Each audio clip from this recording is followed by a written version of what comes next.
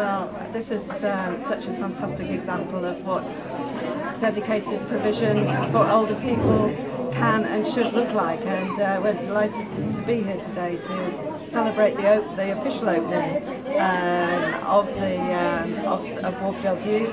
Um, residents have already moved in and it is fabulous and uh, fantastic state-of-the-art quality building in a, in a fantastic location and so much to offer here. Independence with support, with support packages depending on the needs of, um, of people who come to live here.